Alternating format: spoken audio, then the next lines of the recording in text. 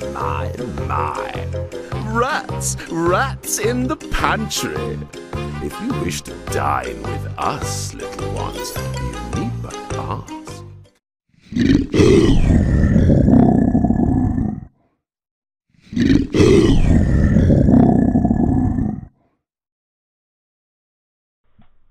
Hello everybody and welcome back to the channel. We are the internet's red-headed stepson. We are the Noob with a Brush channel.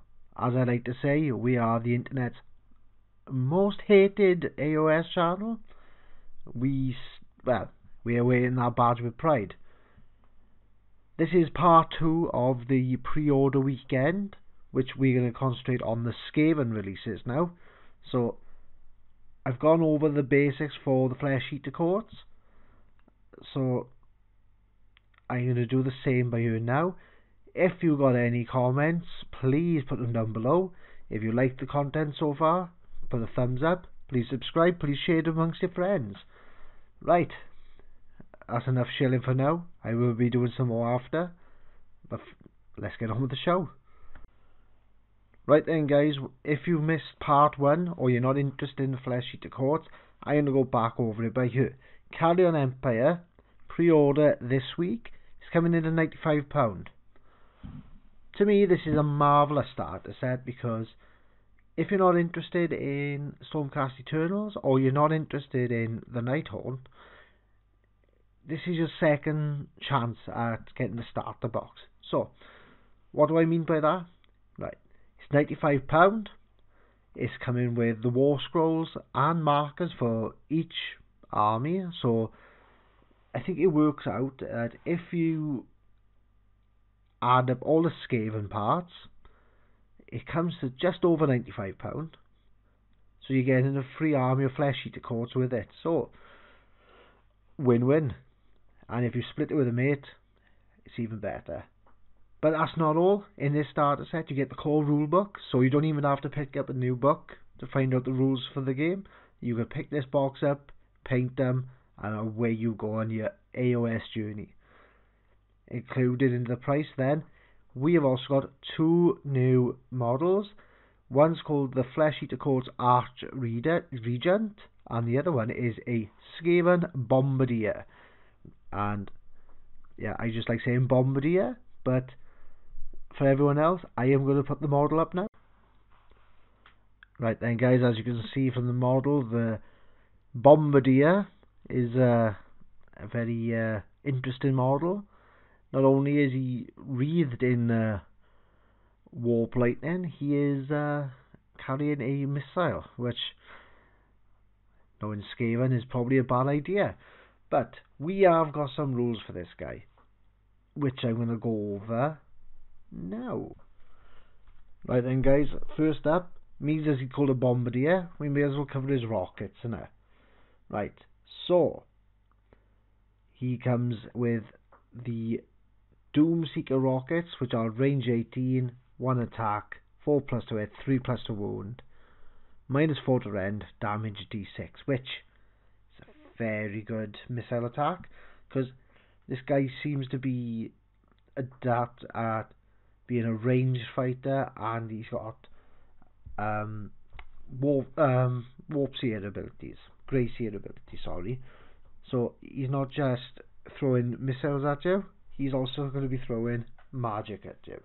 So I'm going to bring up the warp lightning rules because you're probably going to know them anyway, but I think it's kind of interesting to see the pros and the cons with this guy. So here we go.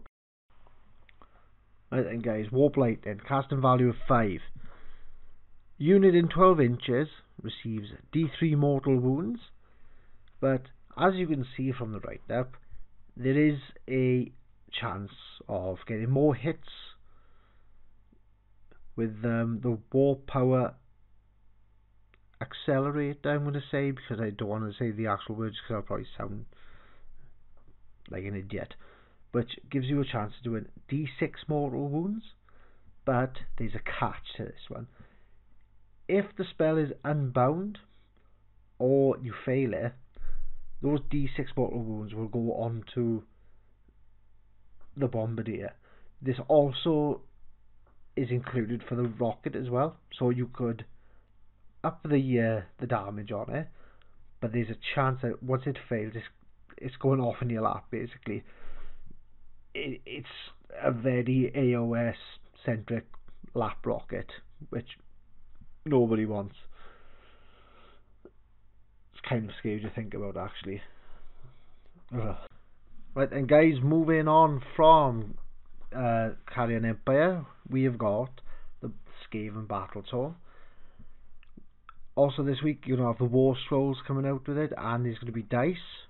So you're getting a little bit more for your your money this week on your pre-orders if you're uh, Skaven rather than your Flesh Eater Courts. But I think GW are probably a bit more invested in uh, Skaven because it's probably one of the more original factions that they have. It's not it's so unique to GW the where they've done Skaven over the years. Doesn't feel like it's rip well, it's a clone of anything else fantasy related. I'm not saying they've ripped off anyone, but um, yeah, you could you could have an argument for that. But anyway, my opinion aside, we have got a battle tome. It's going to be chaos aligned this time, not uh, death aligned. So, what's in the Skaven battle tome? It's going to be four allegiance abilities, which is going to be army wide without picking a clan. But then you've got six clan abilities. So there's going to be a lot of variation within this uh, this battle tome, which is for the uh, Skaven players amongst us. Very, very good. So I hope they're enjoying this. And if they are, please tell me down below what you're enjoying most about the Battle Tome. So, I'm to go into one of the four Legion abilities now, just to show you how varied they are. Right, and guys, first up, this is Overwhelming Mass. And before we get started, by the look of it, the Skaven are not just having the keyword Skaven, they will have Skaven Tide.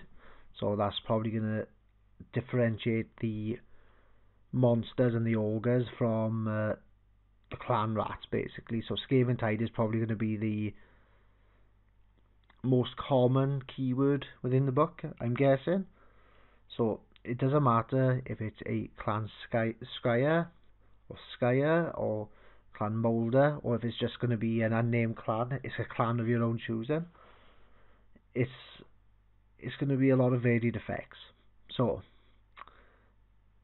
now that I've sidetracked everyone, let's get into overwhelming mass. Overwhelming mass.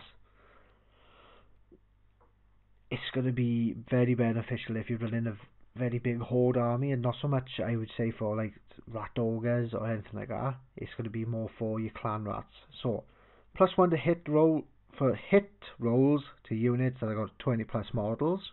So you got a nice little buff there, and it's plus one to wound rolls if it's 30 plus models. So I'm gonna guess this battle tome is gonna push people to max out their unit numbers just to be able to get these type of buffs for them to be very beneficial because like a plus one to hit and a plus one to ro- uh, wound because of your unit size and you're probably going to have quite a few units around the table it's just fantastic. So Skaven are going to be the one to watch I think this year. Be interesting to see how they go on the tournament scene because as I don't know uh, anything in the battle tome I don't know how much a clan rat is. So you might be able to fill up the tables better than Death Army with all these skeletons. So let's look at another and this one I find is very Skaven because if you're high up in the Skaven army you don't want to be at the front because you are the one that's going to be shot first, stabbed first, or you're going to be eaten by other rats. So being a hero, you want to be at the back. And because you're at the back, you're going to get a bonus, which is lead from the back. Which is basically going to be you get lookout sirs for missile attacks and melee attacks, which is really good cause if you've got an army of archers across the way. You're going to have all your clan rats dropping first. And Scurry Away is basically hit and run if you're the 40k player. But yeah, they've made them unique. They're going to be bouncing in and out of fights, which you do expect, and it's very Skaven. They've carried that over very well from uh, edition to edition, and even from fantasy into AOS. Right, and guys, I'm getting the Battle Tome picture back up because we're going to come back from looking at the abilities now. We're going to look at the lore, which for Skaven is called the Lore of Ruin, which I think is a very cracking title for Skaven. And from the spells that we've saw already, this is the one that caught my eye because this is this was I thought was just an amazing spell. I don't know whether this could be the worst one out of the book or this is just going to be the best one. But here we go. It's called Splinter. Casting value of 6. Enemy model 6 inches away. You roll a dice.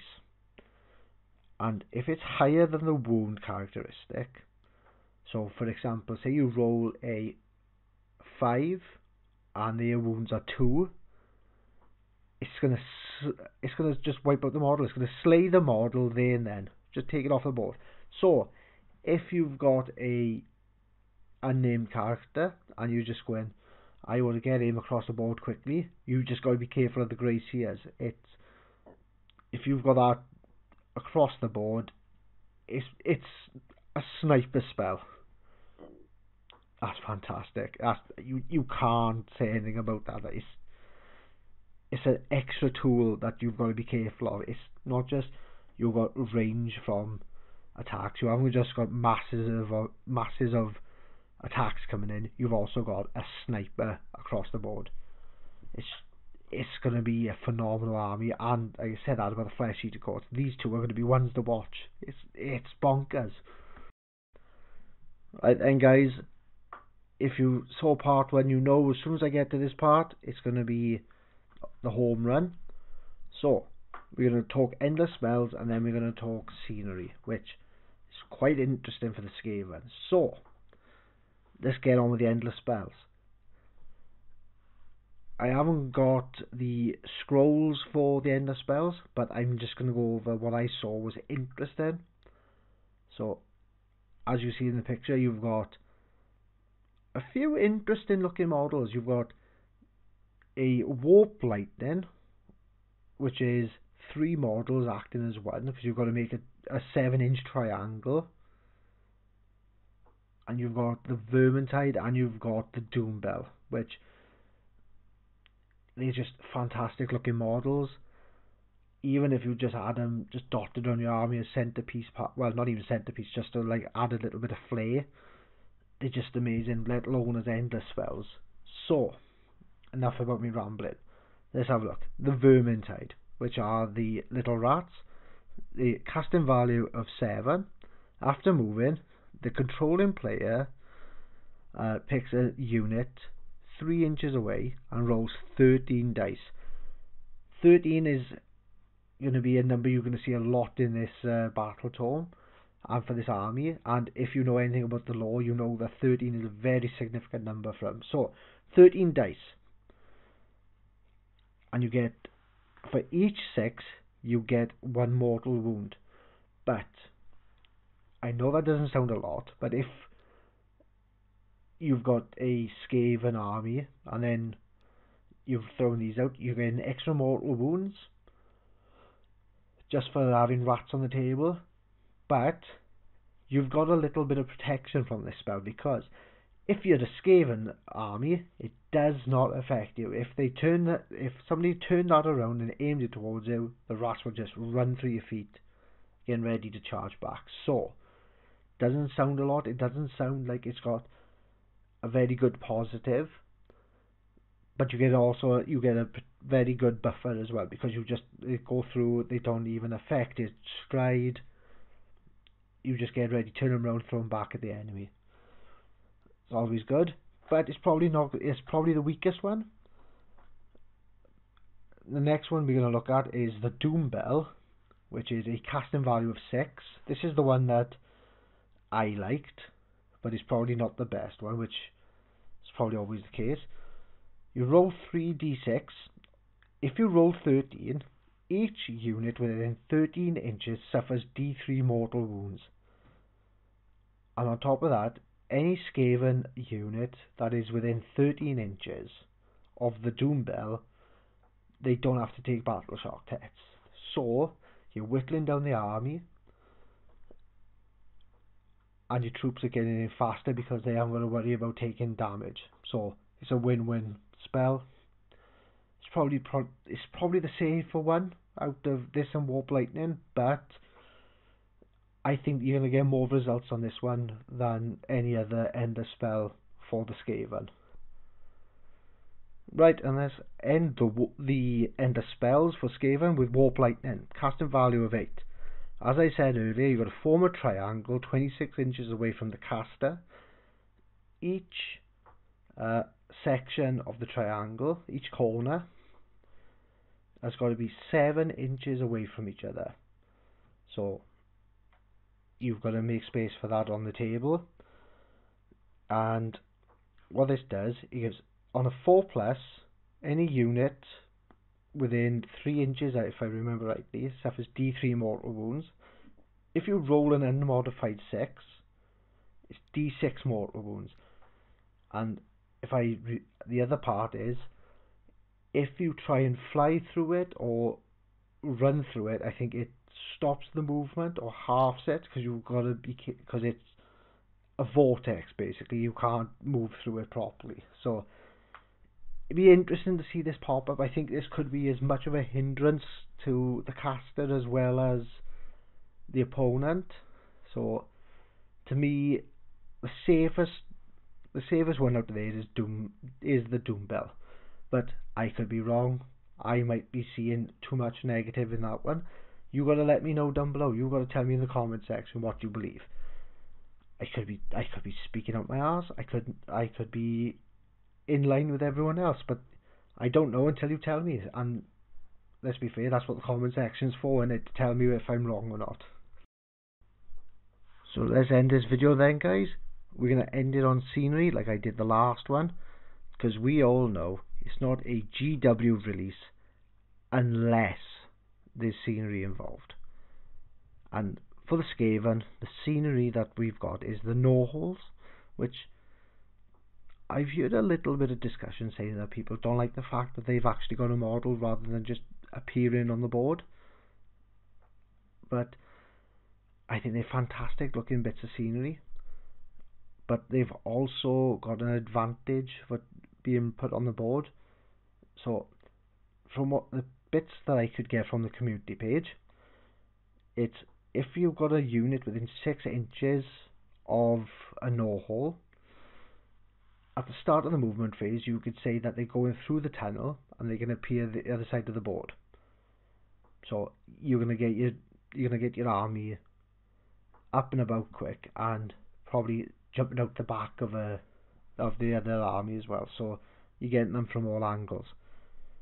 But if you've got your grey seers close to these Gnawholes, the lore is that because there's such a, a rift within the realms, going through the chaos realm, this is going to give you bonuses to your casting. So you get plus one to your cast and plus one to your unbind because it acts as arcane scenery for Skaven, which if you've got to be careful about negative effects because things blow up because it's Skaven at the end of the day. These Gnawholes are good little buffers to help the uh, Grey Seers. So it's not it's not the biggest kit. It's not the most you know fascinating kit that they've ever put out, but he's got a lot of buffs for this one. And if you if you're playing Skaven and you're playing uh, Clan Rats, more than just Clan Moulder, which is their monsters, you're going to see the benefit of this one because it's going to be moving you up the board quicker. So it's just a fantastic bit of kit. if I was a Skaven player, I'd make sure I get about two or three of these kits. And that's it, guys and dolls. That's the end of the video. If you watched it all the way through, thank you for watching the video and sticking with me. May have seemed a bit rambly, but uh, I do apologise. That seems to be my way of doing things. But if you enjoyed it, leave a like, leave a comment. If you didn't enjoy it, thumbs down, leave a comment to say how I can improve. Always going to be benefits. And if you just want to chat, I'm always there to talk in the comments because, as I say, it's a community channel for the community, run by the community. Um, if you didn't watch the other video, I'm going to tell you here now. We've got the Teespring account. So if you go onto Teespring and type in Noob with a Brush, you'll see our storefront, which is a couple of hoodies, a couple of t-shirts, and more importantly, because if you watched my videos before, you know how much I love a cup of tea. I got cups on there ready, so you can use that for your tea, you can use it for your coffee, you can use it for a water pot, but that's heresy. Remember, water pots are not in your cup. We all have that accident where we've dipped our brushes in the cups, but that's the accident. You don't do it intentionally. We've also got PayPal and we've also got Patreon. If you're able to donate, um, please thank and I will say thank you very much because it will go back into the channel and hopefully I'll be able to bring, bring you bigger content. If not, still thank you very much because you've watched the video. If you can share it amongst your friends, if you can, even if it's, even if you just say, subscribe to this guy because he talks, he talks rubbish and it could be funny now and again. That's even beneficial. So, because it's the end of the video, I have um, got now got two videos I'm going to try and upload. So, I shall see you midweek. Thank you very much for your time.